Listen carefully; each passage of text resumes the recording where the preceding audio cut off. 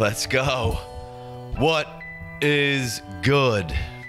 We got the recap of the mock. That's what's good. We got everybody for a couple minutes afterwards, brought them in, chatted up, positive, negative. Some talked about their own team, some talked about others, some talked about kind of an overall summary, some talked about strategy a little bit. Hey, shout out to uh, Dave Willsey because we didn't even we were trying to get him out of there, but we ended up asking him two extra questions. I'm gonna squeeze them into the recap Oh. too. It's nothing to do with the draft. Just we were like, hey, you asked him an extra question. I was like, man, he's trying to get out of here. Let's get him another one. Uh, had, a- had a great conversation with him among everybody else. So appreciate, we appreciate everybody that joined us and gave us their time. We put them through the ringer for four rounds, and then we were like, hey. Let's get some more from you, and, Yeah. and, and now we're about to give it to you, the Take, listener. take, take, take, take, So take. Make sure you hit that subscribe, like, hit us with that five star review if you're on the iTunes or the Spotify's. We appreciate y'all, and I hope you enjoy the show. Let's get it rolling. All right. Thanks for sticking around, uh, giving us a little bit more of your time. The Godfather of Dynasty Fantasy Football, man. Can't can't say we were excited to have you on, man.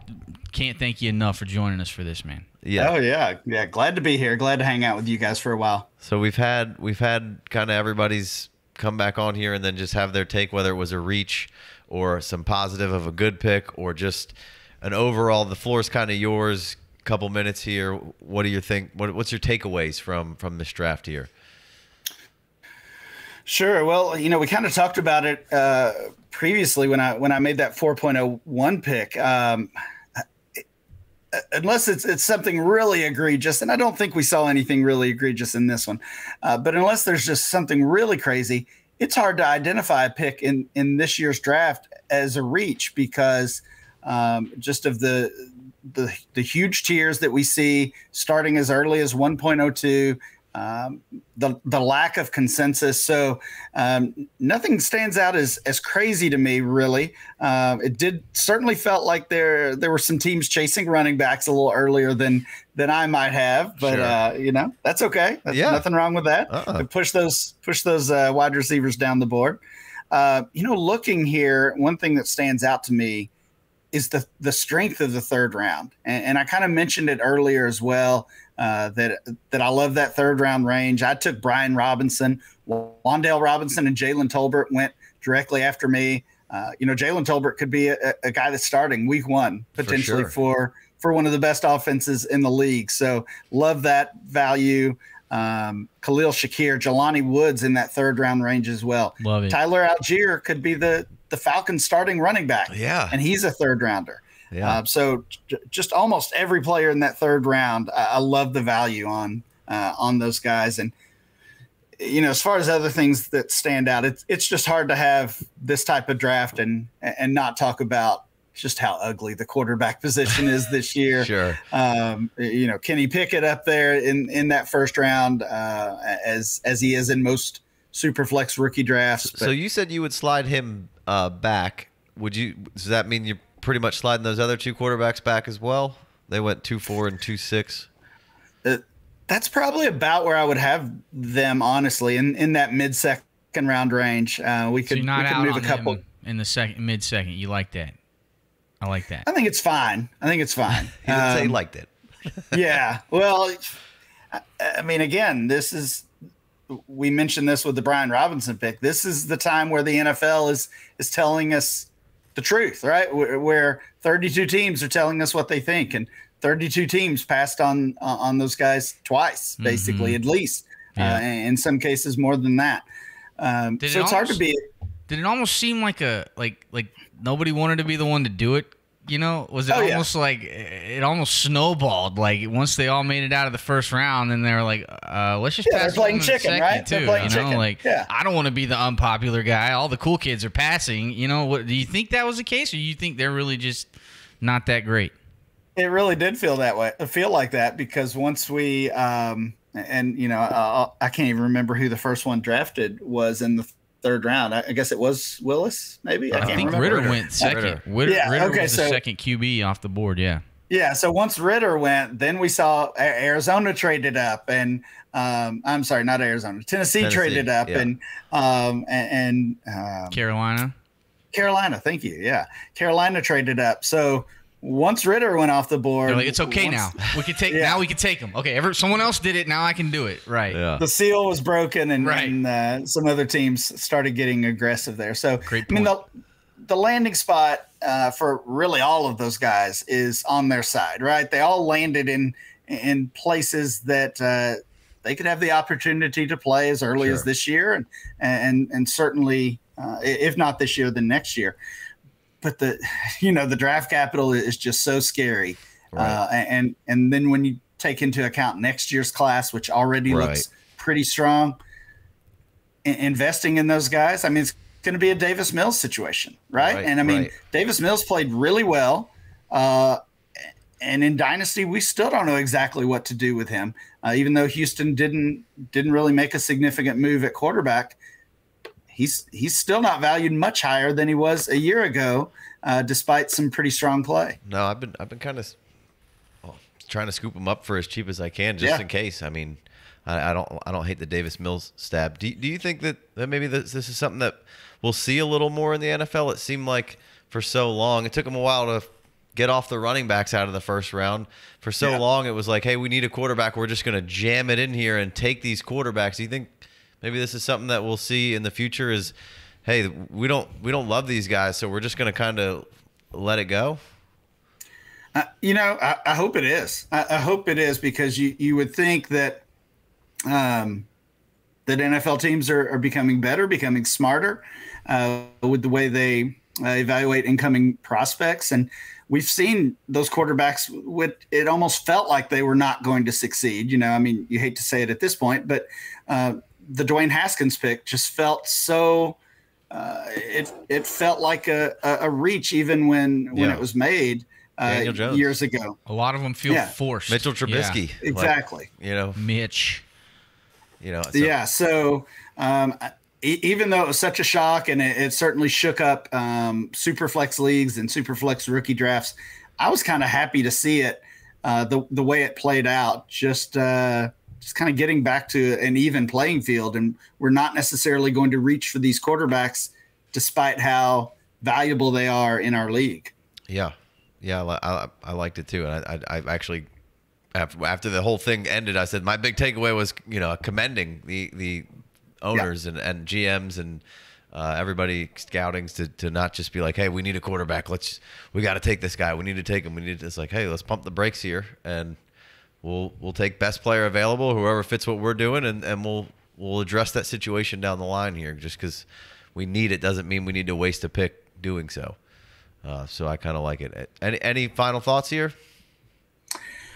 Um, uh, just just another thank you for for Yeah. running this and for having me on. Uh, it was it was a good time, and you know, again, always good to uh, meet new folks in the industry and to to get some good mock draft practice against some of the best. Yeah. So we we again we really appreciate no, thank you. you, Ryan. yeah, it's, it was a it was a pleasure. This whole experience has been really fun. It's been super interesting to see everybody's different takes, opinions, styles, um, and then you know somebody gets on here. Kane is he's taking Kenny Pickett and he's telling you why you got to take Kenny Pickett, and then a lot of other guys are getting on here saying, "Yeah, I'm not I'm not taking Kenny Pickett," and it's, so I'm excited for this to come out and and see, you know, kind of how it all comes together and and what the finished product looks like. So thank you, man. Thanks, thanks again. Really appreciate your Yeah. time, Ryan. Anytime, guys. Thanks. All right, so we wrapped up the draft with with Troy King here. We're back. Um, we've given everybody the opportunity. Anything you liked or didn't like, reach or or positivity. You know, you're allowed to skew positive these days. I know no nobody likes to do it, but I mean, uh, so you do it. You take it wherever you want to go. Uh, floor is yours. Sure. Uh, I feel like I have a lot to say about a lot of picks. Maybe, maybe, maybe good and bad. Okay. But um, let's talk about. So I was a little surprised where Zamir White went, right? Yeah. And I and I like Zamir White as a prospect in terms of just how he looked in college. But there's some things that we need to factor in, right? He had injury problems in college, mm-hmm. so that's one factor. Also, he goes to an offense with Josh Jacobs is clearly going the RB one, right? And he's still young. He's I believe Josh Jacobs only 24 years old, right? Mm-hmm. So Zamir White might work in there, but I feel like there are other running backs that like Dameon Pierce, right? I would take Dameon Pierce over Zamir White just because of you know, he was drafted in the fourth round. His competition is Rex Burkhead and Marlon Mack. Like, Right. I I don't see me taking Zamir White over David Pierce unless you think that the Raiders are eventually going to move on for Josh Jacobs and you believe that Zamir is going to stay healthy and going to take over the offense. Then that's the only reason I see that pick happening. But I also prefer someone like Isaiah Spiller. You know, I yes he's behind Ekeler. Austin Ekeler, but he should have a role, and they've been looking for that other running Sure. back to complement with Josh Kelley, and yeah, again, they've been failing, Right, right, right, right. Justin Jackson, right? So hopefully Isaiah Spiller, and again, he is a good prospect too, but hopefully he can come in and have a consistent role in that offense. But and also there's this other guys like, and I'm not just gonna pick on you know Zamir White, but people who I feel like like Matt Hicks, he got um, John Metchie super late. Like, Right. I love John Metchie. Mhm. And I think the only reason why John Metchie's going this late in the draft is he was a, he had second round draft capital. You know why he had second round draft capital? Because he's freaking good. Good prospect. Yeah. He's a good prospect, but people are like, like no, I don't think they're forgetting about him because he's hurt. It's They didn't see him in the, in those national spotlight games when they could have. Exactly. And this is what's driving down his price. So like I'm been trying to scoop up. I have too much Metchie. Like I had Metchie's probably one of my most rostered rookies because I keep targeting it, right? I I'll- it. I would take him. I would take him mid second. Like Yeah. I would take him mid second. Like I feel like that's like where he should be going, just because. And also with Houston, right? You have Brandon Cooks, who's older, but there's Nico Collins. We have no idea what Nico Collins is, Right. but John Metchie could easily take over Nico. I like Nico right? Collins just fine, but I mean, Metchie just offers something different. You know, that, that's, that's a chain mover. He can do the dirty work. It felt like it was about his time to get his shine in Alabama, Mm-hmm. and then Jameson Williams just happened to come in and blow the doors off of this thing in one year. yeah. Uh, but you know, Metchie was hanging around there in, when Devonta Smith and, and Waddle were around, and they were like, "Hey, there's this guy Metchie here, and he's still doing his thing." And this year, he really did do a lot of the dirty work for for Alabama, a bunch of catches, and then just unfortunately got hurt at the wrong time. But I, I agree with you, man. I, I I got Metchie at least in the you know middle half of the uh, second round as well. Exactly. And then you got other guys like you just need to factor in, right? So like Alec Pierce. There's guys like Alec Pierce, and I'll even throw in um, Tyquan Thornton, right? Guys who drafted way higher than anyone, at least in Twitter world, was expecting them to, right? That draft capital was crazy. And you can't ignore that. And also they go into situations where they could have a role, right? Like Alex Pierce. Like there's They no got- wide receiver too. Exactly. You have Michael Pittman and, And Paris, nobody. Paris, And hopefully, who's- hopefully. I mean, I've been drafting Paris late in drafts for years now. Hopefully, it's Yeah. going to happen. But I mean, you can't bank on that. Exactly. So you brought him in for a reason. Again, he could help stretch the field. So Alec Pierce at late second, I see him going into the third plenty of times. He's someone you should target. Tyquan Thornton. He's everyone makes fun of Tyquan Thornton pick for the Patriots, and I made fun of it. But you know what?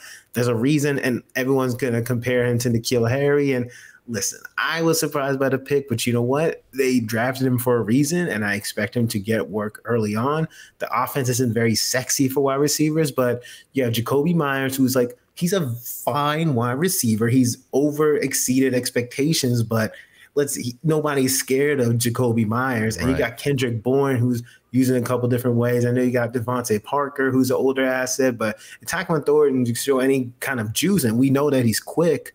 He could contribute to this offense. So that's somebody. Look, it's easy to make fun of him, but with his draft capital going in the late third, like I'll take that all day. Yeah, you know he's forgotten for sure right now. Like, there's some drafts where he doesn't go to late four. Exactly, because people just don't like it or don't like Right. Mac Jones. And then other guys like I like late, like I like Kyle Phillips, you know, like me too. he- that's a must. That's an auto pick as soon as we're in the fourth round for me. and it also like I've been able to scoop him off waivers like plenty of Yeah. times because I think it's because of his draft capital, but like he could it's very possible he could take that slot role. Like he could be the slot. Yeah. This is if you believe Not a in lot the of talent. competition. Exactly. So Good I'm like returner. There we go. So like there's different ways you can use him. And then there's other guys where I'm very curious about Allgeier. Allgeier is probably going to be one of the biggest wild cards to me of this like rookie draft because he can go in and he could be like Qadree Ollison and be absolutely Useless. irrelevant, Yeah. useless, or he could be the starter and just has to compete with Damien Williams, who's 30 years old and like Yeah, and, You know, guy- and- and, and Cordero, who they've kind of said maybe we might not quite use him how we used him last year again, but exactly. So like he has an, Yeah. an opportunity.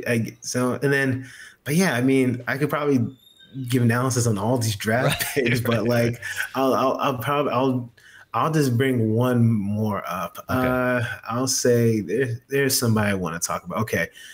And I always roast this dude. Cons- I roast this dude so much, but Velus Jones, Velus Jones. all right, Oh my gosh. Like, again, they did absolutely nothing for Justin Fields. What the Bears provided Justin Fields, it's mind boggling how like little they did with all the and they took him over like I think Velus Jones went over Skyy Moore, I think George Pickens, if I'm not mistaken, or around that range. Like I don't I just want to know, like out of all the receivers there, again, like, and he's an older rookie, so but the thing about so yeah, I'm roasting Velus Jones, uh, but the thing about him though is that he has an opportunity, right? They spend their draft capital on him.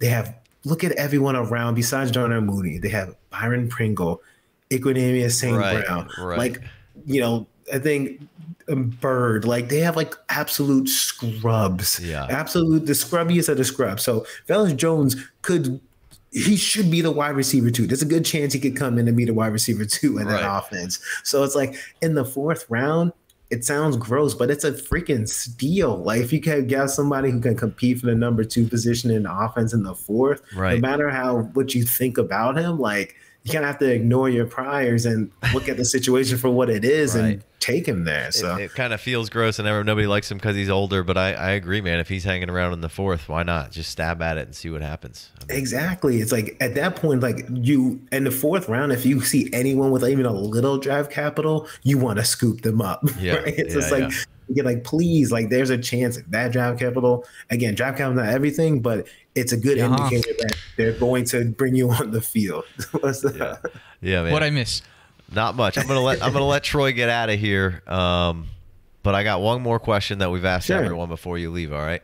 Of course. Um, where wh- what would be the player on the board, or where's the start of the players on the board that you would trade a random 23 first for? So is it like the one through five, and then after that you would give up a, a random 23 first for, or Like, would you'd rather you'd rather trade this year's pick to get a random Yeah. 23 first next year? Yeah, uh, I would say I'm looking towards the back half of the first, like uh, probably 111, 112. Okay. okay? Is when I would do that Some because, like, respect. Because here's the thing, like, Everybody's know, ready to sell all these picks for a random 23 first. I'm I know, you. and and here's the thing, I and I know like the 2023 class, I know is awesome and great, but I'm like, here's the thing, like for example, I see JMO at one eight, right? Yeah. Like. I, I, I'm not just gonna just sell that. If I could get JMO, I- he's not always going at one eight, but like Right. that's freaking value there. We Like, traded a random 23 first for J Mo at 1 8, baby. I love to hear that. Exactly. So like exactly. So I'm saying like that's to me that's a freaking steal. And Olave like at 110, like yeah, 2023 first. There's some better prospects, but I'm like he's in a good situation. And like James Cook, either James Cook is going to be a, a cr- again he's going to either crush it or he's going to be just a third, you know, third down pass catcher. Right. We have no idea. Right. But again, I, to me, I feel like late first, I would just sell random. But like again, there's guys like Skyy Moore could he's a good prospect. He's in a great situation. Like Mm-hmm. I'm gonna put some respect on these players. I know it's easy to hate on them, but uh, like next year's class is always the best, and I know 23's been touted for a while. And and what if some of them guys in the 23 class Right. pull a Chris Olave and or don't a come out? Travis you know? Etienne, and, Yeah. and Yeah. stay another year. You know, they could they could easily do that. We have absolutely no idea. We just always assume they're gonna declare early, and it doesn't always turn out like that. Shit, you see Bryce Young's making more money than Jalen Hurts. I mean, fuck it, I'm gonna stay another year and catch this money real quick. Ex- exactly. Like, of course. Look, those, those College is awesome. Those deals, man. Yeah. Oh my god. Exactly. And the rules have changed, man. Yeah, it's more than About it's, time. and it took a long enough. But hey, now college players are getting what they deserve. Right. So. All right, Troy. I Get really, him out of here. He's got bedtime. That's why I couldn't join, man. I had I had to go Nah. through the bedtime regime. really Listen, appreciate man. you trying to stick to the schedule here. So, No, Thanks of course, much. guys. Well, thank you so much for inviting me again. We'll be talking, guys. Have a good one. This was fun. all right, man. Peace. Appreciate it. All right, so we're back with John. He was picking out of the three hole, uh, just getting everybody's opinion at the end of this. You can go positive, you can go negative, whatever you want to do. Anything, any thoughts on the draft as we as we wrap up here? Coming out of the three spot, I stayed true to what I did in actual drafts. Some of my most rostered players are David Bell, are J- you know Jalen Tolbert, and I went with the profiles that I really like, especially at receiver, because once you get out of Breece Hall, we've we've talked about Kenneth Walker. I, I I don't like any of those profiles. I was hoping Drake London would have slipped to three. That didn't happen. Troy King. That son of a bitch. He he, he took him from me. Um, so I got to give Troy some hell there. But Or some props for taking the right pick. No, no, I'll text him after this and yell at him. uh, but yeah, I I went with the profiles that I like at receiver. And if it's another draft where I have multiple seconds, multiple thirds, I do like to take shots on some running backs too. And one of my most rostered running backs that I have in rookie draft so far, Jerome Ford, who ended up going late in the fourth round, didn't line up with me here, but uh, that that's one player that I've been leaving drafts with that I didn't get to mention here tonight. but overall, What's the yeah, rationale there? uh, Kareem Hunt potentially. We, we hear the rumors constantly. Who knows if he's there even going into 22? So now you have D'Ernest Johnson. We don't know what's happening with him after 2022. Jerome Ford, I keep saying, if there is an Elijah Mitchell, and I the best comp there is just looking at the speed score. Jerome Ford, he he can Fast. bolt. He's- he yeah. is he is fast. So him with Nick Chubb, uh, obviously it's not ideal being behind Nick Chubb, but if anything were to happen, I, I just think Jerome Ford could make the most of his opportunity. Again, we're, we're using late Sure, fourth round sure, draft sure. capital. Uh, but yeah, that- that's just one of the guys. And then I mentioned Charlie Kolar, who's been a tight end that I've been picking up in tight end premium leagues late in drafts. But my, my three receivers, Burks, Bell, Tolbert, I feel good about it. Uh, Bell and Tolbert probably not huge difference makers, but guys that I, I think can contribute here for fantasy teams at least uh, as maybe as the season progresses and definitely in 2023. All right, man. Really appreciate everything, and uh, we'll be we'll be looking forward to chatting with you uh, when you're when you're back into the world and and we're uh, we're ready to uh, chop it up with you because we we we really enjoy you. So Awesome. shout out to John Bauer and the Dynasty Theory. Make sure you're checking that out. All right. Well, we finished the draft. We're kind of getting a little recap, a little little last last thoughts, last uh, input from from all of our esteemed guests. Appreciate you, Michael Bower, for joining us. Um, who, what what was your uh, what would you say was the biggest reach of this draft? Your least favorite pick? So I understand that he got some good draft capital, but I'm not a Tyrion Davis Price fan at all. Um, he actually was my lowest graded running back out of the entire class. He's just kind of big, but not super powerful, a little lumbering, dances around behind the line too much. You know, you would think a guy that went to LSU was highly recruited would just be an absolute banger. I think they were hoping for another Leonard Fournette. Just didn't get it. At the two nine, just looking at what went behind him, I would have went in another direction. Uh, Trey McBride was the next pick, and in a uh, tight end premium, I would have been happy to make that at the two nine instead.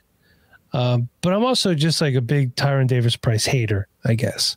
Um, and if you follow me on Twitter, I'm also a Jalen Hurts hater. Sorry, um, but he's the guy I don't like, and it's just because I don't like. Uh, Eagles fans don't like any of their players. Philadelphia f- sports in general.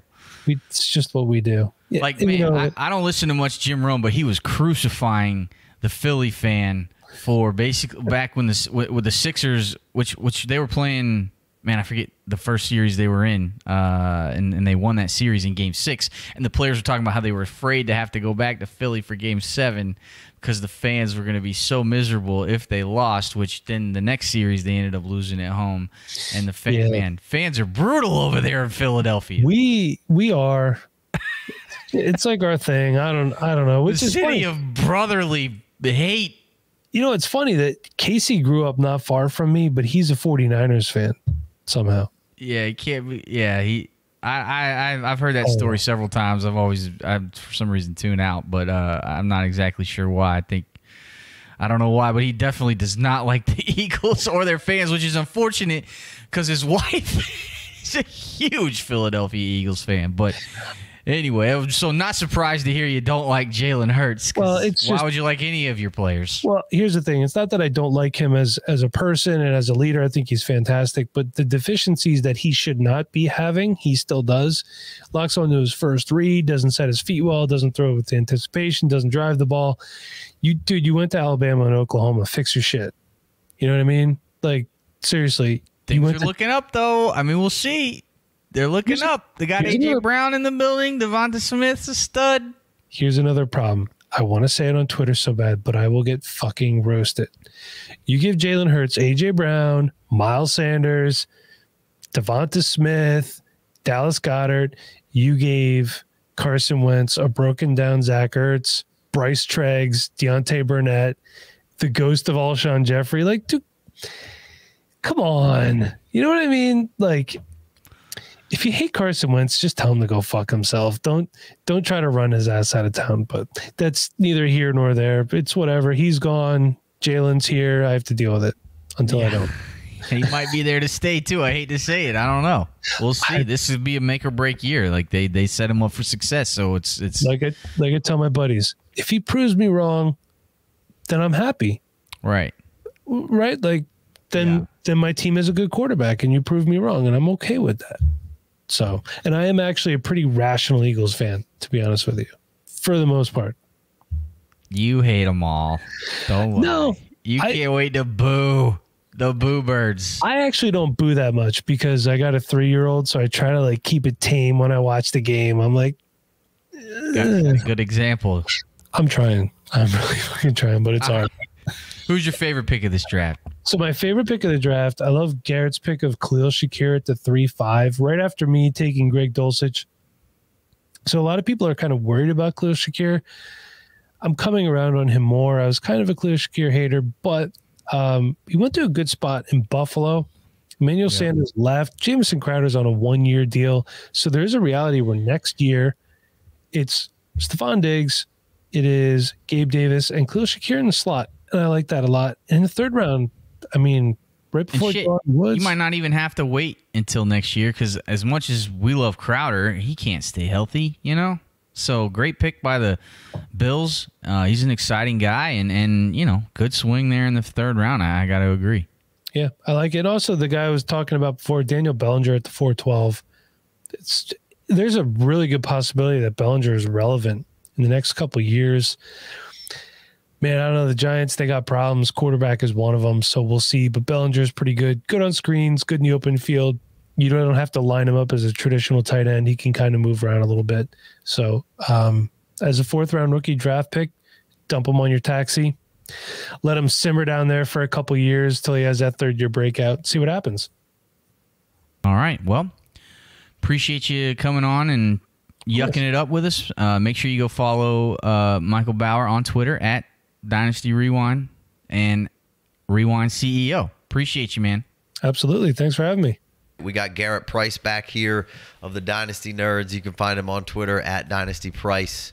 Uh, we've been kind of doing this with everybody afterwards. You know, you kind of floor is yours. Take it wherever you want to go. If you want to talk about your strategy or somebody else's strategy or Pick a you really reach like or a someone else positive, made or, yeah, or a w- worst pick, you know, whatever you want to do, man. Floor is yours for a minute here.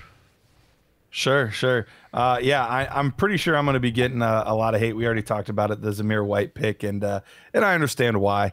Uh, but but sometimes you got to get your boys, and especially once you get to the midpoint of the second round, they're all it's all a crapshoot.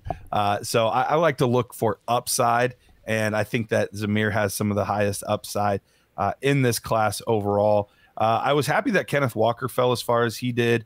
Uh, I thought that ended up being uh, a, a really good value there. Uh, James Cook and Tyrion Price both went a little bit higher than I thought they would go. Uh, I know people are really high on James Cook. It, for me, it kind of goes back to his tape. I don't want to overvalue a player just because of the landing spot and the draft capital. And I think he's Yeah. yeah, And yeah, and the Did Dalvin you Cook know his genes. brother was Dalvin Cook? I don't know if you knew that. What? Yeah. What? Doesn't Breaking make- news. We had a breaking news sounder. Got to reevaluate everything. Man, all right, start it over. Start it over. Let me. Uh, yeah. So he's he went a little high uh, for for my taste personally. Agree. Uh, but but overall, I, I mean, I think this I think this draft is pretty fair. Uh, Ridder and Willis, I- I'm fine with them in the second round. Once again, I, I mentioned upside. Those two guys have crazy upside. Could that blow up in your face and neither one of them ever see the field? Sure, absolutely. That can always happen with third round picks. But I think both Happen of those guys have a pick. shot.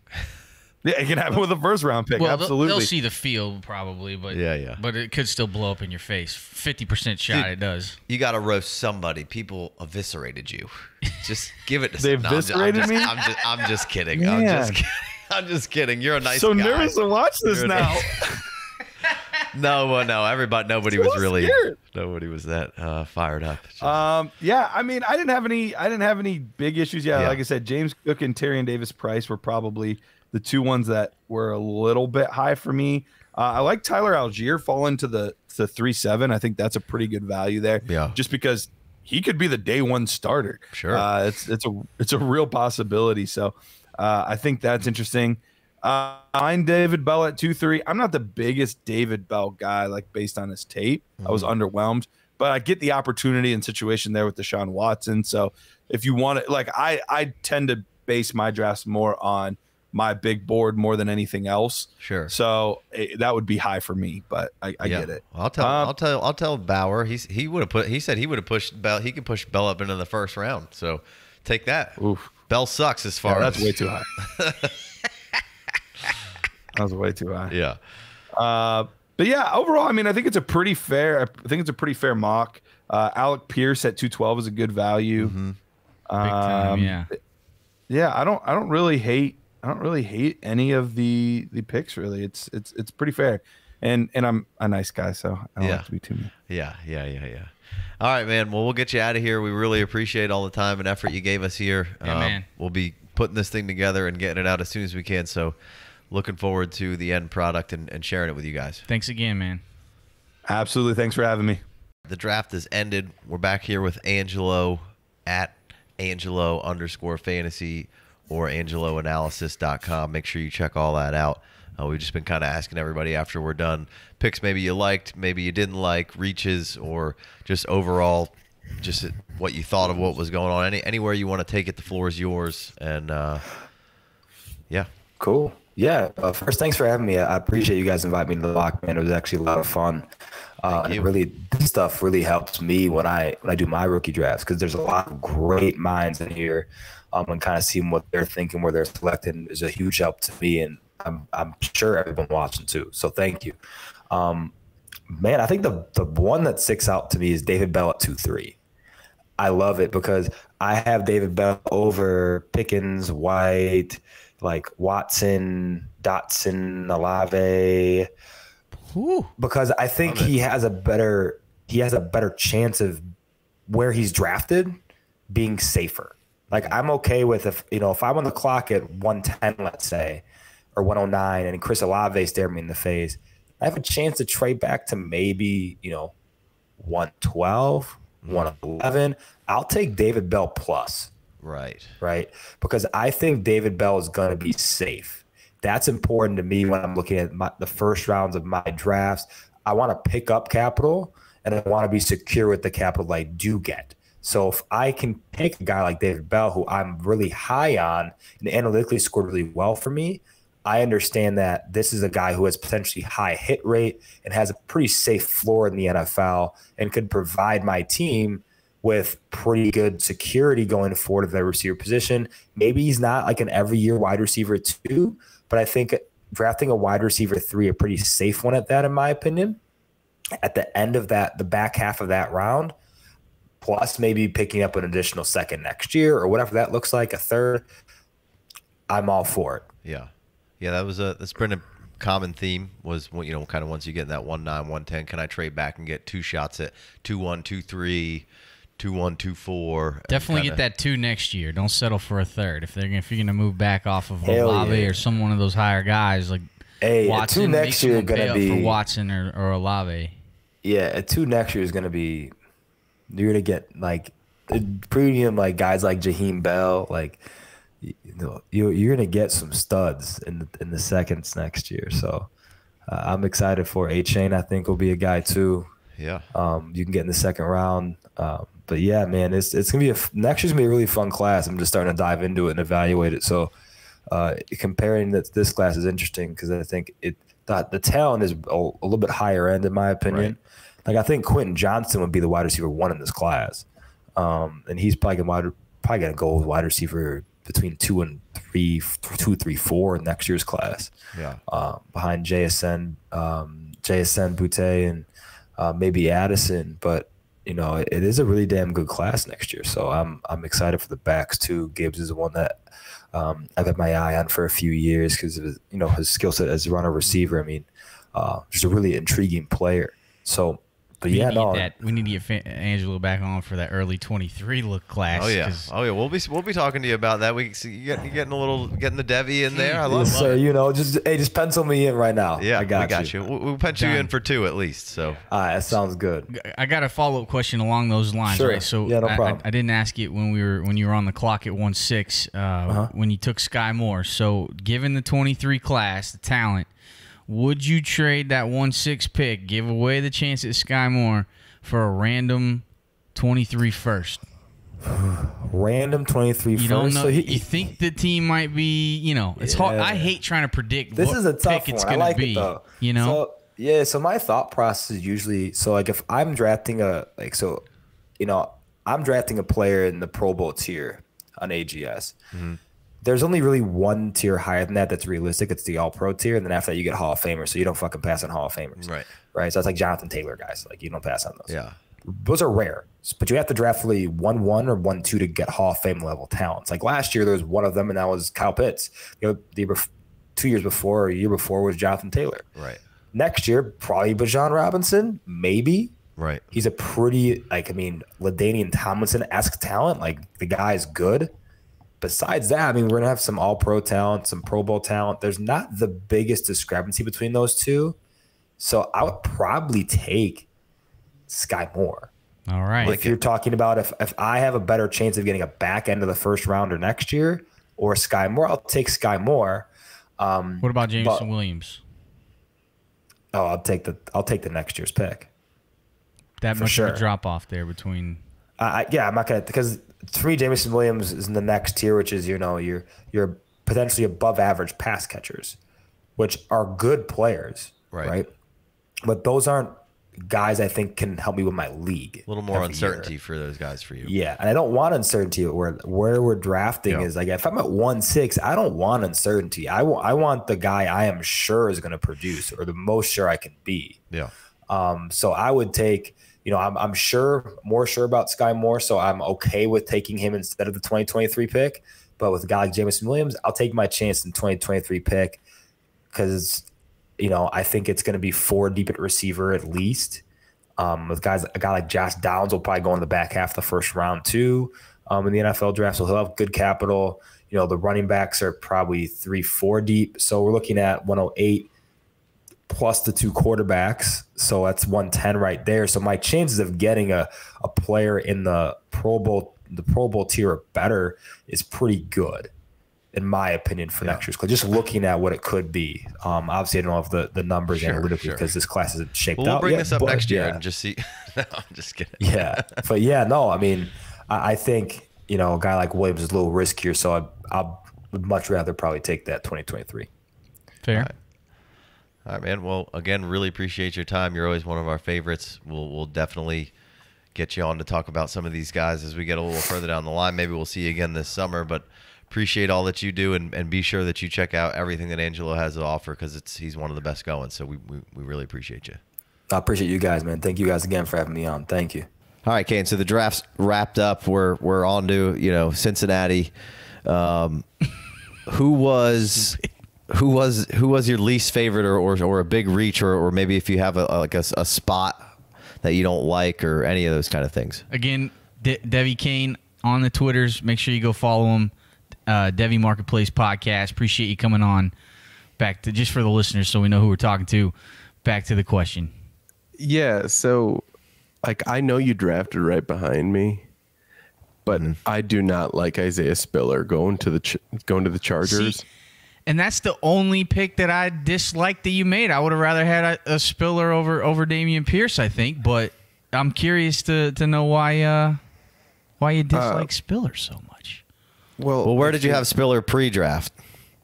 Uh, he's my running back four. Okay. That's not bad. No, like I I- like I think Spiller's fine, but You don't like I the think- landing spot, or you don't like the capital, or what is it? I don't like the landing spot at all. Okay. Like I don't like necessarily like that he went in the fourth round either. Um, sure. but like Which is why he's not one six or one eight, which is why he's two eight. Oh yeah, no, and I'm I'm 100 percent with you. I th- think the the issue that I have right is we're hoping that he's the running back too, Mm-hmm. and I just think that there's some other players that already are the running back too on their team. You know what I mean? Like Yeah. I I feel like you're accepting more inherent risk with Spiller over some of the guys that are taken after him, and like that's the only problem that I have with it, um, especially when you're behind such a good running back in Austin Right. Ekeler too. So I, I think that right. that's like the, the big thing for me. They do have a banger in Austin Ekeler, uh, but he he's not the youngest, freshest, healthiest back that's ever come across. Right? He, he misses time, and so- he's on a super cheap Right. deal right now. He's got So that- due less than five million each of these next two years. Is probably even less than that. Uh, he's got three million dead in 22, 1.5 million dead in 23. They're not paying him very much. He got a cheap deal because Melvin Gordon held out. He should actually hold out for more money. We've been Right. making that kind of So- argument. So that would be part of my when I picked him and, and made that pick. Like you know, I like Metchie, which I don't know if you like Metchie or not, and I like Trey McBride in a in a tight end premium uh, situation, especially late second round of, of a possible guy who could see a lot of volume. And Alec um, Pierce, you know, eventually, I I can see and Alex Pe- Alec Alec Pierce, sure. Uh, but it is. It's it's Ekeler. Like Ekeler should hold out. Like they should pay him more money. This is his last chance to get a contract. Like he should hold out a little bit. And like, I mean, I like Justin uh, Jackson, as, and I well, I don't really like. I think Josh Kelley's. I think Spiller's inherently better than him. Um, and so I, I, I think Can't I, stay healthy either, I think he know? comes right in and takes that. It takes that two spot because I, I believe in the talent of Spiller. Plus, I think he's a plus receiver. Plus, Ekeler's not the healthiest guy. Plus, if you can keep Ekeler healthy when you're getting to that playoff run, I think you By could using you know Spiller. by using Spiller a little bit. I think they're they're thirsty for another guy to to ride a little bit. Um, so and. You know, I, I like I said, I do think they're like if he's got a good agent, which Ekeler seems like a really good dude, so maybe he doesn't want to do this, but like this is Do like they're Ekeler. they're on Get their money, Ekeler. they're on their Go rookie contract money. with the quarterback. Like, try to go get some money. You, you need to get a raise, man. Like, this is your last chance. They're already not paying running backs. I could see maybe something like that happen. So, you know, a lot of uh, if ands, buts, and and making a case for a guy that I liked pre-draft. So you could call it take lock, I guess, if you want. Which we Um, only had him one spot higher. You know, we had him RB three pre-draft. Then, then you Don't yell at me. You guys are the ones that wanted me to tell tell you No, no, what the big I'm not- three- Don't yell at me about making a that. case. We're not we're not yelling. I like it. I, Just I'm, I'm making a case, yeah. well. I'm just I'm I'm giving my explanation. Um, I'm No, telling like you. I, I like Spiller, and I really wanted him. You to, hate him. I wanted him to run, not crawl at his forty yard dash. But like, But he had know, an ab- abdominal strain, man. He had, he was he was a little hurt, I think, is what they were saying. sure. And Plus, we knew he Jalen wasn't gonna be the Wydermyer had fastest guy crutches. Ever. He yeah, gonna be the fastest guy ever. You know. yeah, I, I kind of already knew that that was the case by watching him. I mean, I, I just I feel good about the player at two eight. Like I'm I'm a little bit heavy in the run. Like I'm going to take the shots on the running backs. We're late in the second round there. I, can like the see- player. I can see if you want to say Metchie and Pierce, you know, Alec Pierce over Spiller. I, I can't really. Yeah, who would you who would, who else would you who would you rather have? I would rather have Trey McBride. I'd rather have Metchie Pierce. I'd Okay. rather have Yeah, Brian I was- Robinson. I'd rather have one. Oh, absolutely not. I'd rather have Jelani Woods. I'd rather Definitely have, Um, I'd rather have Tyler Tyler Allgeier or Allgeier. Not sure how to say your name, Tyler. Um, I would even think about Matt Corral over Isaiah Spiller. Wow. You really hate Isaiah Spiller, is what you're saying. Yep. Yep. Hey, that's fine. More from me. More from me. Yeah, you know, perfect. To each his own. You got to go listen your plums. You know? I feel I felt like when I made I was on that clock and like the, like I said those were the three guys. It was McBride, Pearson, and um, Metchie for me that I would you know consider taking there, and I like trying to get any of those guys. Wan'Dale, once we get into the third, I'll trade in and try to try to snag him. Um, but I'm I'm taking Spiller over Wan'Dale every time, and I know that's not smart draft capital wise. Um, if you want to play the percentages, but I felt like that was probably going to be a pick that people either really liked or really you know disliked. So you're you would you're you're giving me more grief for Spiller at two eight than Zamir White at two five. Come on, man. Well, we yeah, I like ask him- Zamir White. Yeah, so do I. But I mean, re- come on. They already didn't pick up Josh Jacobs' fifth year deal. Oh, who gives a shit? They could still extend. Clearly, him, you know? the Raiders. well, They we'll see how that goes. him. And You they know, could they draft could get- another running back next year. I mean, what do we? You could. know, so I mean, so, So could could Spiller. the car, right. so right. could the Chargers. So Right. you know, um, but I I think realistically, right in this draft, that there's like seven or eight picks that you're like, okay, I feel better about the first seven or eight, and everything past that.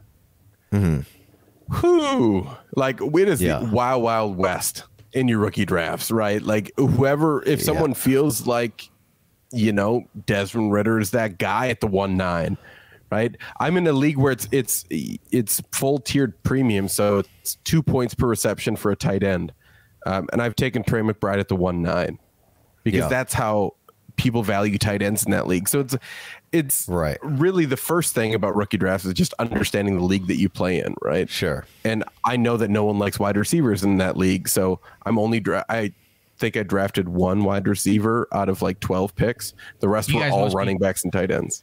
You guys must be playing for a decent amount of money. Uh, I think it's just fifty dollars a person. I think is the buy-in.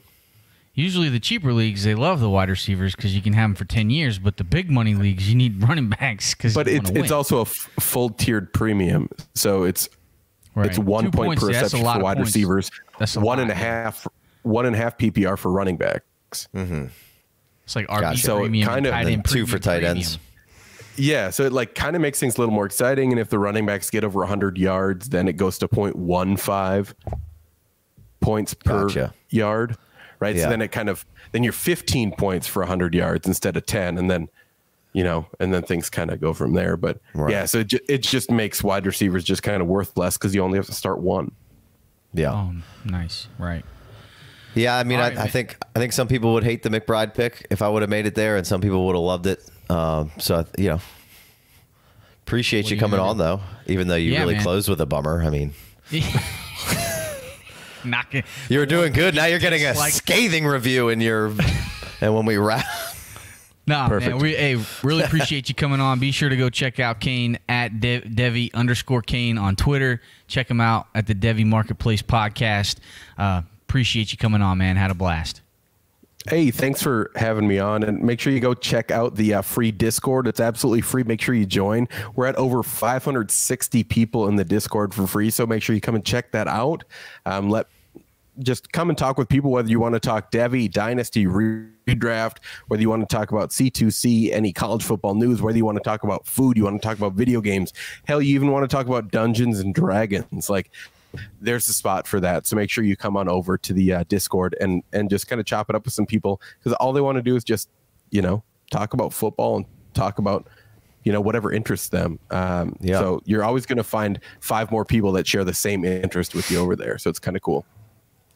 Awesome, man. Yeah, we need to have you back on and have a Devy discussion because we don't do enough For Devy sure. around here. So, all right. Well, all right, buddy, Appreciate appreciate, you. Pierre Strong, no, no Pierre Strong over Haskins. Let me let me pull something up here real quick. I want to see. you thought he was getting out of here. Now Well, I was gonna ask him about it, and then I was like, "Well, I don't want to. I don't want to keep him." And then I was like, "Ah, before we go, I just gotta ask. See, see. So I like Pierre Strong. I think it was it's um I compared him to I basically said like he's kind of he's Elijah Mitchell, kind of that that type of prospect. Uh he's just in such a Right, right. running back hell, you know, Yeah. like who Complete opposite can- of all the other guys you just talked about, as far as you know, potential opportunity and path to. Yeah, and I mean you can see it, you know, may, because maybe they move on from Harris, White's gone, but I mean, crap, who knows what Bill's going to do? Right. you know, I mean, maybe they re-sign Harris, and we're just looking at five guys that are, you know, just like, um, And they Cannibalizing Kevin each Harris other. yeah. I mean, it's I'm not really sure what the hell the Patriots are doing, and and you know that that backfield's always somewhat of a nightmare, um, fantasy wise. I mean, Harris was was fairly startable for the most part, um, and it really did overall had a good season, but week to week it was hard to uh, really rely on that. So it just seems like going to be more of the same with Yeah, even more headaches. I mean, But do you like the Yeah. talent of Pierre more than like a Haskins? I I mean he's got pro- probably some more upside based on receiving, but he's not. I mean, he, even Strong really wasn't like a huge receiver. He was just he was a very efficient receiver, Yeah, but I mean, even he wasn't like utilized all that much. But I I don't think it was. It, it was probably more of a scheme thing there too. I don't think they threw a ton yeah. to to the backs. 44 catches in the last two years. Yeah, So I mean, it, it's good that he. It's good that he did it late. Yeah. Um, And he is very, like I said, very efficient. You got to consider obviously the competition level, uh, but I mean, he's. I think we can, we can have faith. Bill will find a way to utilize him, but just to what extent is Right. the question. You know, you're. I don't think he's going to be the goal line guy, so you know that that's out. So we we're really just hoping that he's he's James White um, after James White leaves. Yeah. He- I- you know, It so sucks because I like all the fucking guys. over I like Harris. uh, You know, I like Rhamondre. Yeah. you know, Yeah. I like I like Pierre Strong. it's like Bill Bill. You know, I mean, and he's done it for years. So I don't think we should ever expect anything different from him. But uh, the thing I I kind of took from it is like how much like if they're drafting a bunch of running backs, like what does this really mean Well, for offenses. like Mac Jones and the Yeah. passing offense? You know, like what does that say about Mac Jones and and what like how long is it going to take? him to really become more than just a game manager if it is going to happen. So, I mean, Well, if we're that, stopping, that's if we're stopping chatting you even longer from getting out of here, I wanted to ask. I, I was not going to ask the question, but since you asked one more, I'm going to ask one more. How high would you take Kenneth Walker in this draft? Because in a rookie draft or in a startup. in this rookie draft, where you, you got him at the one two? Uh, no, uh, I- you gonna go off brand at the one two? One four. I'll probably I'll probably go London and Burks at one, two, and one, three, and then come back to Walker at four. yeah, Okay. just with the pa- no, you don't like the passing percentages and all that jazz, I don't think it really matters a whole lot going to Seattle. right? um, I mean, the the biggest thing is going to be like, what what is their offense going to be this year? Sure. Yeah, I mean, they. I can't believe that they're not going to run the piss out of the ball. Right. Even You know, in, even in negative so- game scripts, they're gonna pound the Yeah. fucking football. So, like, I don't think you should be really worried about. I mean, potential opportunity as far as like he's probably going to get 12, 15 touches a game. You know, they're they're gonna hand like Penny and Carson were both doing it at the same time, handling 15 to 20 touches a game for a while there when they were both healthy. And that's probably what Pete's going to try and do. Um, I think it's better for the offense, as weird as it sounds, if Geno's the starter. Yeah, And so agreed. that that probably uh, lifts the ceiling a little bit as far as scoring opportunities. Are you a, are Um, you a Seahawks fan? The family is are Seahawks fans. Uh, I'm a Cowboys fan. Oh, okay. I I was born in Texas, and the first football game I ever watched was the uh, the '92 Super Bowl, and everybody in my house was rooting for the Bills, and I was like, I'm from Texas, I'll root for the Cowboys, and just watched them go out and just demolish the Bills, Uh-huh. and was like, Yep, that's my team, That's it.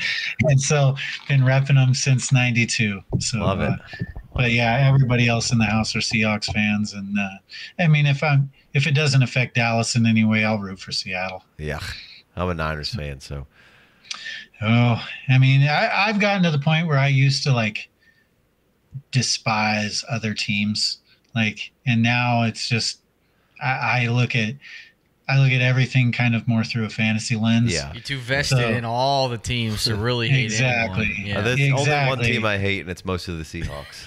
It's mostly the Seahawks. Pete See, Carroll, I- Pete Carroll fucking drives me up a wall, and they just.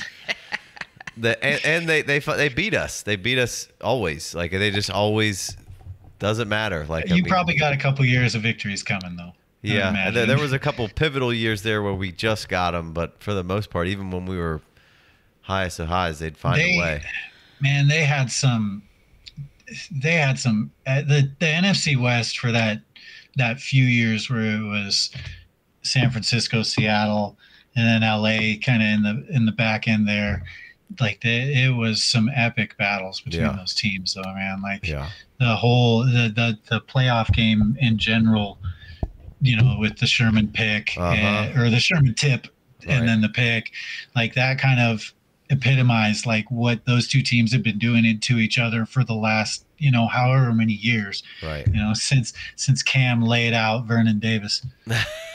yeah, yeah, yeah, Man, man. All right, man. Well, we'll let you get out of here. Yeah, Appreciate it. Uh, thanks so much. It was a lot of fun. I really enjoyed talking to you. I I feel like you did a nice job of relating everything and not speaking in a manner of that wasn't able to be understood. And, and I think actionable content was a good uh, way to frame so. it there. Yeah, no, that was great. so. Thank you so much. yeah.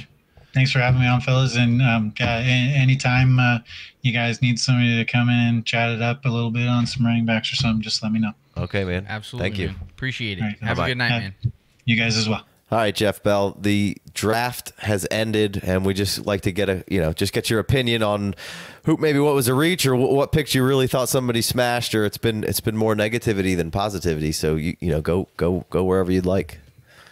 Yeah, so one that stood out to me in early second round, uh, Zamir White went off the board, and that's a guy that um, I think pre-draft we were a little bit excited about the athleticism there with Zamir White, um, but he's had some major injuries in college, and he's almost a nothing in the passing game throughout his career at Georgia, and he lands with the Raiders, and the Raiders bringing in that Josh McDaniels as their new head coach, I think they're going to bring some of that Patriot mentality when it comes to running backs. They're going to keep guys in very specific roles and I don't think there's any receiving upside for Zamir White. So to use an early second round pick when you know you can look in the mid third and Tyler Allgeier Allgeier draft lasted till the mid third, and uh, that's a guy that I think that they're going to have similar roles. Even Allgeier could have a better chance at early produ- production and carving out even a bigger role with the Falcons, and you get him around later. And so I think there's a cluster of running backs that are pretty similar in this class where, you know, Zamir White, Brian Robinson, Tyler Allgeier, all these guys are are kind of uh, you're hoping for early down, you're hoping for goal line backs, and you're hoping for a little bit of pass catching utility. And you want to use those third round picks on those guys instead of your second round picks because the depth of wide receivers still kind of there in the second round. And then having the other quarterbacks, taking chances on those, taking chance on a guy like Trey McBride in the second round uh, are where I would defer there versus grabbing um, just one of these running backs that are outside of the outside. Really, once you get past Richard White, I'm, I'm not going to touch running back until the third round. For uh, I'm sure you've li- under, uh, figured this out by now. For the listeners, uh, you know we we recorded all these shows with uh, these various guests, esteemed guests. Appreciate y'all for coming on at different times. Right, we haven't had Garret on yet to talk about that two five pick where he took Zamir White. We did have him on the show uh, earlier in the offseason, and that was a big one of his guys. You know, I can see him trying to plant his flag for Zamir White. Uh, we did, you know, we got into some Zamir White pre-draft. Really like what we saw. You're right. Not much. I can't really argue against you in the passing game there. Uh, but you know, Josh Jacobs, they didn't extend him. They didn't pick up his fifth year option. He could be gone next year. And you know, what if what if Zamir White gets that LeGarrette Blount role? You know, in the Josh McDaniel system. I mean, that's the upside. You know, that's what you're hoping for. You'd Be Damien Harris. touchdowns. You can pretty Yeah. much pencil him in for 18 touchdowns in 23. I mean, Yeah, yeah, I just yeah, I, I I think that's probably one of the bigger reaches for sure in the in the second round, just as far as you know where you could have gotten. Obviously, there's no trading to be had in a mock draft, um, but you don't have to take Zamir White there, like you said. It's more of a end of the second, third round pick, I think. Even if you Yeah, I- I gotta the admit. you know. I I did a draft about the same time. I got him at the 309 in a draft that we love about the same that. time that we did this. So Yeah, so you're stoked about that, right? You like that? Or yeah, that- um, yeah, and you know, like I said, there there are a bunch of backs that are, you know, I think I you can probably push Dameon Pierce and Isaiah Spiller above them, but at the same time, like all these guys that I think one or two of them you can get in the third round, and if that's the direction that you want to head with your second round pick, um, you know, kind of you can move back, maybe I don't know. Everybody says move back, but I think it's very it's if everybody's saying move back, nobody's moving up. And that's Right. just the reality of the situation that if you don't have anybody out there saying, "Hey, move into this tier," and and that is something that I do believe in, that I do try to do. It's just that so often that when guys are on the clock, they want a lot to move back, and it's like everybody wants to move back, but then the asking price on moving back is still trying to ask for a premium, and and you're not Right. really understanding that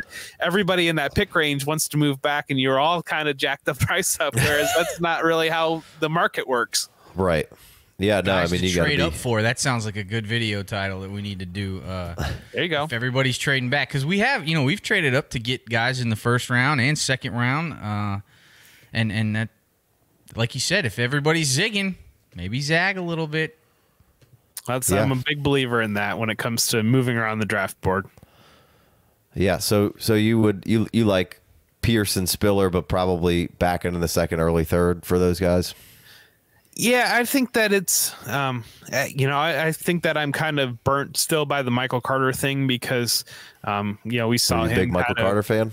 No, I, I, was uh, completely out on him. Um, Okay. But you know, at the same time, it's just that having that, um, and part of it is being a Devy guy and knowing what's in the 23 class that we've got. Mm-hmm. you know, we could have like five or six running backs that are as good as that it could be running back two in this class coming up in this class coming up and and and there are a lot of places that they could find their running back in this class where you know maybe Dameon Pierce is a guy for a year in Houston but then they turn around and draft Bijan Robinson in their own backyard and all of a sudden um, Yeah. Dameon Pierce is is nothing but it's um, I think you can maybe hope to get some immediate production but I think long term the value that you're looking at in that early to mid second range, um, it's still worth it to take a risk on one of the quarterbacks, either Ridder or Willis sitting there.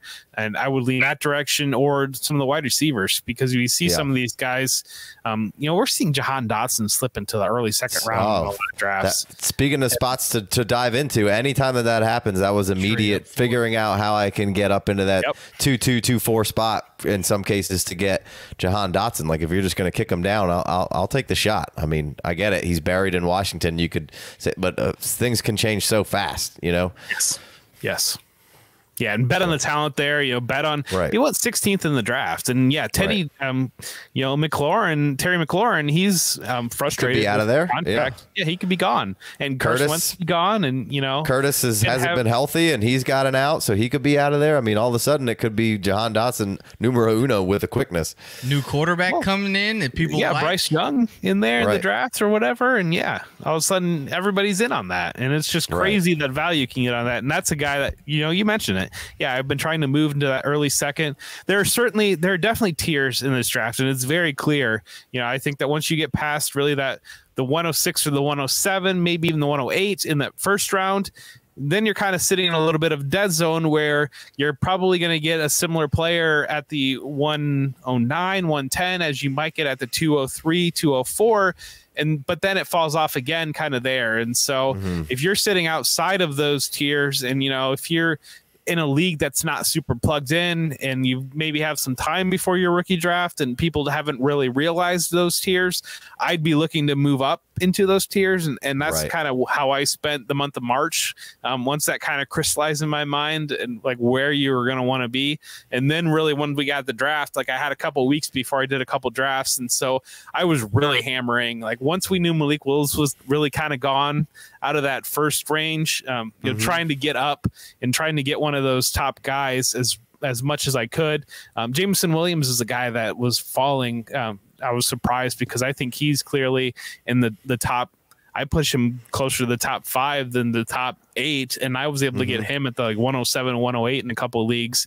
Yeah. Um, and, you know, it's it is. Uh, Would you trade a random 23 first for Jameson Williams? that's a little bit more iffy. Um, it- All you know, Ed, all right. if it's going to look at we 23 first this way. Okay, yeah. So look at 23 first this way. If you're if the tr- pick We that also you're had trading, some already coming in, so now we're the cut. We're not barren of 23 first. We now had we our had. own. is the Right. team going to make one. playoffs that traded the pick? Um, we traded our own. We own. traded pick. someone else's pick. I don't know Yeah, exactly which- whose pick it was. Uh, we feel like our team. We took over this team. It's like our only orphan that we've taken over, and we decided to tear it down. And so Yeah, we kept our pick. Uh, we had the one one this year, and uh, earned the one one. And you know maybe things turn around if Saquon comes back and crushes, and Breece Hall, and, and we got Lance. Actually, we traded Lance for Trevor, and if so, there things could go well where our pick is in the mid range, you know. But we, we kept ours and then traded the other one away. Not exactly sure. That's why I just just a random. You know, it, it, could, it could be anywhere from six to to 11 or 12. You know, I mean, I, I don't Yeah. think it's a it's a top top pick that we gave away, but who you never know. I mean, Sure, It's hard You to never know. predict that. You know, I just a random 23 first. we did. We, I think we threw middle MVS. We threw team. MVS in the deal as well. Oh Okay. yeah, I see you. I mean, he was he was a dead asset for a minute there, and all of a sudden he got revived. If that was going to make the deal happen, here you go. Um, yeah, and if you believe in Jameson Williams, like I think that's a fine deal to do. You know, you, you're getting a still a young guy, and um, yeah, I don't, I don't blame. I, I don't have a problem doing that deal. Um, I I don't know. It right now, just the intrinsic value that are sitting on 23 first, Mm-hmm. I have a hard time not moving it for a an established, established young player. Yeah, yeah, yeah. yeah, I want like one of those established guys that are like 24 years old. That um, you know, if I can throw a like a Jakobi Meyers or some like eye candy, that you'll still get some production. But here's your 23 first, Right. and like that's the moves that I would be looking to get those. But um, I have been gobbling up as many as I possibly can in my leagues. I'm sitting most leagues. I'm sitting about three to five deep on 23 first. Yeah, we, we came in with with uh, two and some seconds and some thirds, and we got some. Like I said, if Saquon goes off, he's probably gonna get. We'll probably try to move him and get some more first. Like there's assets on the team to try to acquire more first. So we just decided let's just start three wide receivers. We had no receivers, trying Sure. to build that receiver room. Um, we took we got Breece, Burks, and Jameson uh, in this draft. Um, That's and then doing some work. So good job there. yeah, Jameson was hitting at 108, and we we just you know shot up in there and and Sent Uh, the offer to the open bar guys saying, "Hey, it's the UDP else's industry kind of league where uh, you know a lot of guys know know what they're doing in there." And, and they sat on the clock, and we are like, "Jameson's hanging around. Maybe we should go because we liked him. You know, we can make an argument for him being at the top of that." Wide receiver tier, you know. Yeah, I, I think I probably have him at the top of the second tier or at the end of the first tier, but I could also I mean, he could be the best one in this class. So Very much so. Very easily. a little swing. It's a cheaper league too. It's only fifty bucks. So like, we're like, fuck it, let's go get let's go get Jameson. Sure. Yep. Well, hey Jeff, really enjoyed it. Thanks for sticking around. Thanks for for coming on. Thanks for doing the draft. Thanks. You know, I know it was a lot of extracurriculars here. Um, for uh, th- so thanks for helping us out, and thanks for it was a pleasure meeting you. Yeah. Absolutely. Thank you so much for reaching out to me for having me on. Anytime we can do a fun rookie mock draft, and then break it down too. So you added that extra element. So thank you so much for your guys' time. back with Matt Hicks. We spent a little bit of time uh, with everybody after the draft, uh, just kind of going over, kind of giving you the floor, going wherever you want. Uh, you can go positive, you can go negative, you can go just you know summary of of strategy or you know whatever you like, man. Uh, so Matt Hicks at uh, the FF underscore educator and obviously the creator of the rookie big board. So we've had a lot of fun conversation. If you've missed that, go check out the the picks throughout the rounds. But uh, now we're gonna get a little after uh, after draft content here. So where, where you want to go here, Matt? Floor is yours. Man, it's a it was an interesting draft, I will say. You know, I, I love that it wasn't it didn't feel super chalky. You know, some picks that definitely jumped out. I mean, Angelo taking Skyy Moore at 106. Talk about going and getting your guy. Hmm. Hey, listen, might not be popular. Zamir White 205. I like it, Price. I, I like the aggressiveness there. I think that's a good pick. Brian Robinson at 301. I mean, come on, what are we doing there? Great value as well. And uh, you know, even getting into the fourth round, man, Velus Jones at four seven. Yeah. I mean, I'm embarrassed that I didn't take him at 311. You know, what is that? Uh, shame on me, but Kane, that's a that's a sweet pick. Yeah, that was that was a strong strong move by him. He he seemed to be catching some value there on the back half of that draft. He caught caught Allgeier at, at three seven, which whether you're an Allgeier guy or not, that's strong value. Um, and then Velus uh, at four seven, I think that's a, a really strong pick. It makes up for taking Dameon Pierce. Yeah, yeah. I was gonna say he got value all the way through, but I mean, I you know I, I would probably pick a couple other guys before Pierce there. He did say he wanted to trade that once once Pierce got like a starting role. He's So like, then you got to move him. But You like the Zamir, so that was probably the most hate. Yeah. uh, that that people that that that was received on this. Um, what are your what are your rationale for Zamir at two five? Listen, and I know I know uh, my man Price has been high on Oh, Zamir yeah. White for a while, and there's good reason. Uh, Zamir White, if Zamir White didn't have uh, two ACL injuries, which he did uh, late in high school, senior year, and then early on in college, uh, both ACLs, I think we would have been talking about him in a lot different of a way. In terms of being a pure rusher, right? I'm not talking about well-rounded running back, everything like that. Just in terms of being a pure rusher, there's an argument for Zamir White to be the best pure rusher in this class. And so, you know, take away, yeah, I, I mean, he's fantastic in between the tackles. I mean, in terms of vision, he's fantastic. He's explosive. Uh, he has uh, excellent footwork, cuts on a dime. I mean, Zamir White, I, I absolutely love him. And then you plug him into this Las Vegas offense, which literally uh, it was either right before the draft or right after the draft, intentionally does not pick up Josh Jacobs' option. I think we understand that Josh Jacobs is kind of a, uh, you know, he's fine. Like he is what he is. They're going to give him the rock. He's going to run it four yards, and then they're going to do it 200 more times a season. But are they going to give him that big second running back contract? I just don't see it happening Yeah, especially with them giving out money otherwise, you know, picking up Davante Adams, adding this other money, you know, extending Derek Carr, right? I think Zamir White in 2023 could easily be the starting running back for the Las Vegas Raiders. They're always going to have a more pass catching running back. That's always kind of been their MO. But Zamir White can step in and do what Josh Jacobs is doing. And quite frankly, I think he can do it at a higher level. So I think at 205, man, it's a great pick. I know it's a little bit above value, but it's not that significantly above his ADP. I'm absolutely cool with it. yeah. I, I don't I, ho- disagree I hope with. Garret listens the whole way through because if he does, he, he's gonna he's gonna be real sad, and then finally you're gonna hit him with some some pizzazz. Some finally somebody he's gonna reach out to you and be like, "Thank you, man," because everyone was just just dogging him for that. Yeah, I mean, I, I agree. I think out.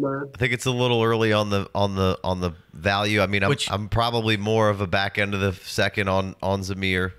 Um, I but mean, I, I'm- I I'm do like the cool talent. Uh, you know, a, a good bit, and and like you said, I, I think that they're. I think Kenneth Walker probably would take the crown for me for best pure runner. Um, but Zamir is certainly right there, and and you know, just a nice combination of speed and power.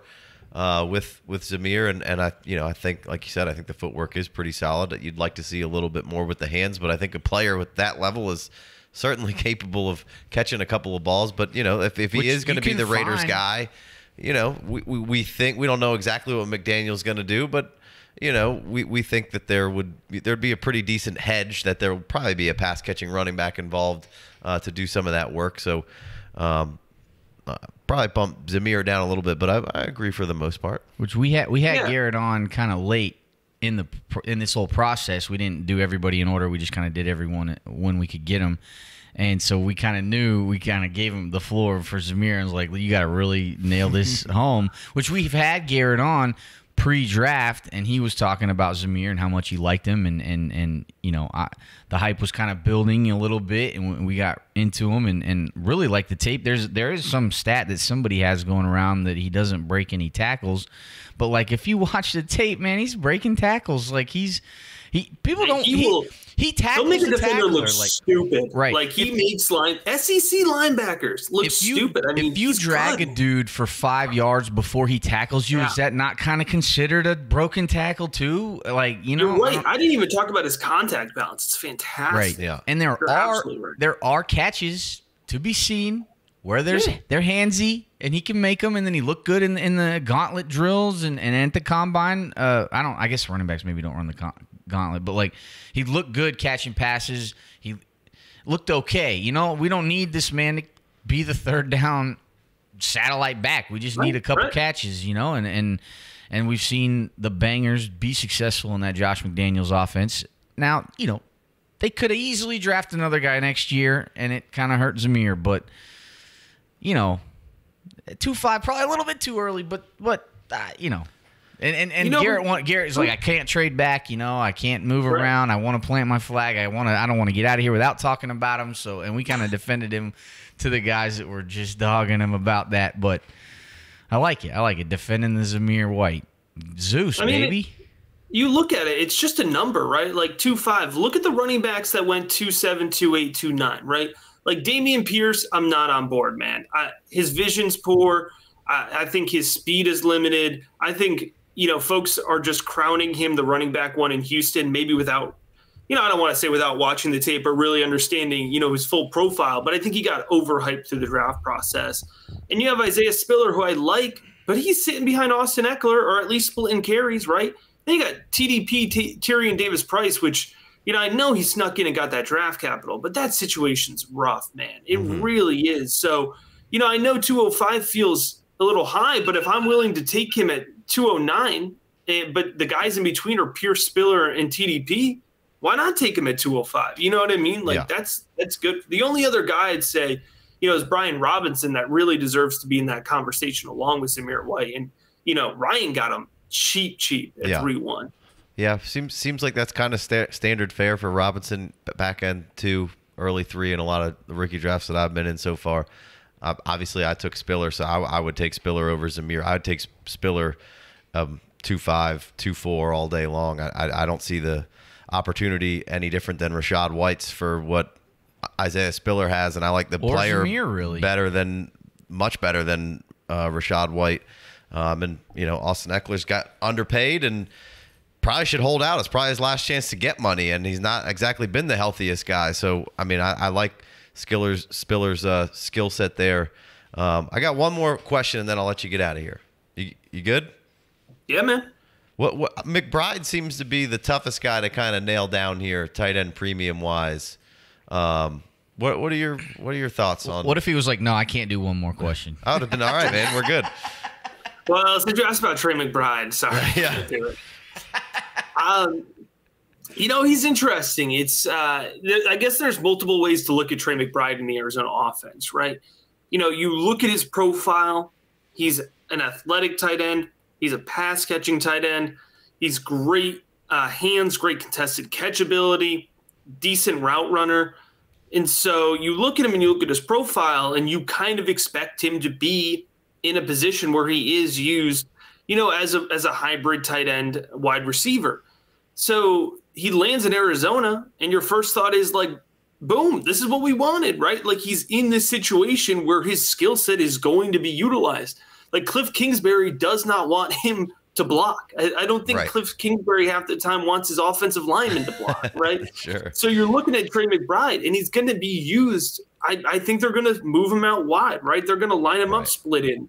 He, he will probably have his hand in the dirt, maybe like 20% of the time. That might be hyperbolic, but it fits. However, you're looking around and you're like, man, there's a lot of pieces here, right? Like Yeah. there's Rondale Moore that's going to get his. Of course, once DeAndre Hopkins is going to come back, he demands, you know, 25 plus uh, percent of that market share. Mhm. So it's a little bit of a tricky spot. I think at 210, where he went in this draft, like that's right. Late second round is is right. You know, I mentioned earlier, you know, when we were talking about the draft picks, you never reach for positional uh, value. You really want to, you know, Right. settle on a player's value. But, you know, there is a teardrop, right? Looking from Trey McBride down. So when there's that strong of a tier break, you have to take that into consideration. And so, you know, late second round, that's just about right for me. Um, I, I don't think I have much, if any, Trey McBride yet, but that's not necessarily intentional. It's kind of just the way my drafts have fallen. Sure. Uh, he's been probably the hardest guy to rank for me and, and decide where. Because on one hand, I'm like, man, I, I love what this could be. Um, but, you know, it might take a minute to really come to fruition and round out. And then tight ends, who the hell knows? I mean, there's there's plenty of second round tight ends that just never even turn into anything at all. So uh, Yeah. just thought I'd wrap up with that, man. So if you got anything else that you want to touch on, or we can get you out of here. Man, I think we've chopped it up, man. I think we've picked this draft apart. Yeah. All right, man. Well, we really appreciate your time. Really appreciate you hanging out for an extra little five, ten minutes here. And uh, we'll be looking forward to more content from Mr. Hicks, man. Thanks a lot. Yeah, thanks, fellas. So we've wrapped up the draft. We've given everybody opportunity at the end. We're bringing back uh, Debro Derek Brown here, um, just to give you the floor and talk about anything, any reach or any, if you want to go positive or recap or anything that you got here in this draft that that you saw that you liked, didn't like, or uh, some strategy or whatever you got. Uh, there's a few picks that stuck out to me. I mean, l- going through the draft room and stuff like that. I mean, I look having the balls for somebody to sit here and take Skyy Moore at the 106 over Jameson Williams, Chris Olave, and a few other people. I love it. Love, Love it, it. Love it. Love it. Love it. Love it. Like everybody wants to sit here and stand against the hype. It- you know, it- honestly, guys. It's okay to like good players, and it's really okay to like good players that land in really good situations. Yeah. that's oh, fine. Clyde Edwards-Helaire though. Yeah. Oh gosh, come on, come on. Skyy Moore is well. Uh, you know what? I'll, I'll give you one on top of that. Skyy Moore is like Clyde Edwards-Helaire in the sense that he is like a running back in the open field. Uh, when you put the ball in his hands, Duke can break tackles. Duke has vision for days. So And uh, Clyde's been banged I up, like man. that. Let's give t- Clyde a, tiny little break. The hype was so high and even way higher than Skyy Moore. Look, you people- shouldn't have taken Clyde Edwards-Helaire over JT. That was ridiculous. No, that's fair. But that's fair, and, that- and I'm guilty of it too. I like I'll own the L on that. Like, but I liked Clyde a lot, a lot coming Sure, out of LSU. too, I love the skill set. Um, I thought that, yeah, you could talk about size and things like that, but I think health, and then we also hear like through the tea leaves, like we're like, okay, like. Uh, where was this report of him having gallbladder surgery in the offseason, not being able to train the entire offseason, Being losing weight, having weight, issues? Where the hell was that report? You know, like all the time college? We get well, I mean, we all the time we get these reports after the season and we find out what guys went through ah. throughout the entirety of the season. More so and in it's like college, though. Like usually they can't. Oh yeah, no, it's definitely in, in the pros, college. but it's it's definitely in college, no doubt, definitely in college. But there are a lot of times where we don't nearly get any type of view about like what actually goes on behind closed doors. Like talking about rookies. Sincere McCormick just got put on the IR, and we don't even know what he injured for the whole. And they said he's going to miss the entire season. he's done. but it's undisclosed. it's undisclosed. Right. So I mean, we just don't know, and so I, I love the Skyy Moore pick. I love the balls to sit here and have that because I love the landing spot, love the player. Sure. I took him at 105 in a draft, so I don't hate that at all. The other pick that kind of stood out to me because I'm really high on the player. Um, the fact that Isaiah Spiller fell all the way to the 208 uh, is is I'm not going to say it's egregious because I'm not going to be that hyperbolic about it, but it's a player that honestly, when we walked into the draft cycle, I was not like banging the drum for Isaiah Spiller. Like I was mm-hmm. like, okay, he's a good but not great talent. I love the landing spot for the Chargers. I think he's going to have a role from day one. And if anything happens to Austin Ekeler, much less, it, I mean, we're we're talking about a top five scoring offense. Mm-hmm. That if there's an offense in the NFL that can support two top 24, two top 36 running backs. I mean, it's the Chargers, guys. They're Yeah. they're going to put up points for days. Yeah, that's funny because that was somebody else's. Uh, they thought that was a reach. the worst pick. Oh, really? thought. Yeah, yeah. No, I don't think it's the worst pick. I think it's. Uh, I, I would have uh, like kind of like I, I- I talked about with Christian Watson and Alec Pierce getting gift basketed to me in this draft. I would have been pressing the button to draft Isaiah Spiller at that point in the draft so damn hard I would have broken my phone. Your boy TDP got got some love at, at two nine. You like that one? Yep. I mean, you love it when he doesn't head to the third round, Right. Um, because he shouldn't as a third round running back. So it's nice to see that, like, Would you have in a room full of sharks. Pierce if he was there? Um, him and Pierce are back to back. Okay. Honestly, I could, I could make you a case for either one of them. Okay. Um, so really, I mean, we're splitting hairs. I, I think that they're both. If I were, I probably would at this point in the offseason, I probably would take TDP only because I love Pierce, but the more and more I've had time to marinate about this draft class and stuff like that, I, I just I get more and more fears about the Houston Texans doing some kind of dumb shit and running like a three way committee, and we see all this Rex Burkhead that we don't want to see. We see a bunch of Marlon Mack that we don't want to see, and Dameon Pierce is kind of stuck in purgatory. Um, and as a fourth round pick, and then break out this year, I mean, he could just get cucked just like Michael Carter. I mean, it's it's it could be in the cards. Good use of the word there. And then so Trey, so Trey McBride would be off the table for you at 210.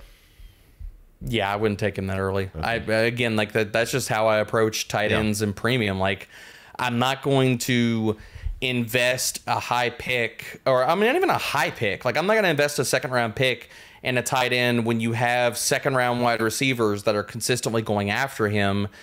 And it's not even just that. Like I, I religiously mocked Trey McBride in a lot of my mocks because the landing spot fit, the expected draft position fit. If he'd landed somewhere like where there was a runway and you could see it in your mind's eye of him having relevancy not only this year but into next year and being the dude. Like if he'd have gone to Green Bay, fine, that's cool. But he goes to Arizona. Zach Ertz just re-upped. Like I, mm-hmm. I'm not going to push that aside. Like I, I'm, I'm just not going to go for a tight end at this point in the draft. They do have when an- I can take They the do have an shots easy later on athletic guys. They do have an easy out in 24. That's you know, two years. So Ertz is definitely gonna be It's there two years, for two though. years, but Yeah. he's also not the picture of health. You know, so you could make an argument a little bit about that. But No, I've been having a hard time with with McBride because I do like the player, but there, like you said, there are still a couple of wide receivers and a couple of running backs where I'm like, I feel like there, there could be decent opportunity right away to really make a splash. And I like McBride, but like I'm having a real hard time placing him exactly where I would take him, um, in in tight end premium or non. You know, so Yeah, it just it comes down to he'll always go in these rookie drafts way before I'm willing to to draft him. Um, maybe if he falls in like a startup or something like that, but like, I mean, for me, um, there wasn't a big. Um, I mean, for me, why not like a, a, a guy that was my tight end, two tight end, three in this class? If I want to just take a block tight end, but he's super freaking talented, then fine. I'll just take Jeremy Ruckert in the fourth or the fifth round of a rookie draft, or pick him up off the waiver wire, or I'll go with Jelani Woods, who didn't even get selected in this draft. You know, He- so he- he's at three six. Oh, is he? Yeah. I must have. Oh, I glossed over him. Yep, Yep. That, that's what happens when you you scroll too fast back and forth. um, but again, like, why do I take Trey McBride over second round wide receivers when I can go for Jelani Woods, who Mo Alie-Cox can be out of there next year? Kylen Granson hasn't done anything. They don't have anybody else in that tight end room. Right. Um, and Jelani Woods, we could see could be the one A. Now maybe the Colts go with their their damn frustrating committee and continue to do that. But the other side of the coin is maybe Jelani Woods has a clear runway after this season. So Yeah. yep, I'll take the value and I'll just take him a round or two later. Awesome. All right, man. Well, I really appreciate it. We'll get you out of here. Thanks so much for the time drafting. Thanks so much for the time coming back on and talking through these picks. yeah, man, And we really, appreciate, it, man. Hey guys, look, this was a blast. Uh, ton of sharp people. I know, not trying to poo-poo on people's picks. You know, just differences in approaches Yeah, in drafts oh, for sure. But ton of sharp people in this draft room. Really, really thank y'all for having me um, and allowing me to draft against everybody. Um, this was a blast, man. So thank y'all. Yeah, that, that's been the super interesting part when you go from person to person and just seeing the different style and takes and interpretation and how they play the, the game and the draft. Uh, it's been very interesting so far. So we're excited about this one and, and thank you again. For your That's right. That's what this all was for. It was for your pleasure. I hope you enjoyed the recap. We got a lot of good content. If you guys For weren't your sure pleasure, for your pleasure, for your about pleasure, for your what pleasure, for your pleasure. was going on with these rookies, you just learned everything you needed to know. And and we gave you our opinion. We gave you 11 different expert analysis opinions, and and take it for what you you know, take it for what it's worth. Take take what your favorite part was, discard the rest, make your own decisions. We're just trying to educate you. And we had a blast talking it up with everybody. And I can't thank everyone that joined us on this podcast enough. Uh, just appreciate all your time and the hard effort that you gave us and just just joining us. Uh, shout out to Casey for putting it all together. Shout out to my, I like to thank myself for editing all this shit and, and staying true to myself and believing in myself. I'm gonna get a little Snoop Dogg. I like to thank myself. so if you joined us and you made it to the end of this, definitely let me get a, a, a subscription on the YouTubes. Leave us with a comment. Make sure you like this video. Hit us with that five star review on the podcast. Go to revelrybrewingco.com. Get a t shirt. Support your boys. Shout out to Big D. Look at this man. Look at someone go off, on, off, on, uh, Boom, uh, boom, uh, boom, uh, uh. boom, boom. Pew, pew, pew, pew, pew. Forever indebted. Big D, you the man. I love you, man. Uh, Better get shout outs for the rest of your life. But you're gonna be like, God damn, these guys won't keep my name out their Come mouth. to Charleston, you got a room. Yeah. First, second, third rounds on me. Let's get it popping. Appreciate y'all for joining us, and we'll see you next time. Altoids on me. Peace. I got a blank space where my mind should be, was, what is it? For your pleasure. Ha!